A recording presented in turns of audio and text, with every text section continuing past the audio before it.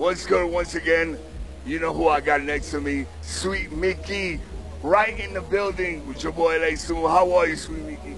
I'm great, man. Great. Uh, good, good to be back in music and doing my things. I appreciate that. I'm so glad you came back to do music. Let me ask you one question. What does Compa Fest mean to you? Well, Compa Fest is the greatest event where Haitian culture is represented, and not just represented, but we are represented. All the biggest names of the industries are here, the biggest figures are here.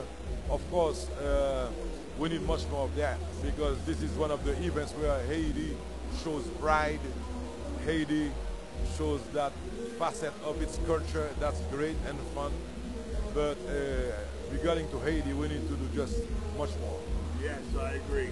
Thank you very much. I'm so glad you came through, man. It's a pleasure. Pleasure. So always. pleasure, always, man. Sweet Micky, everyone. LA Slow, we're not done.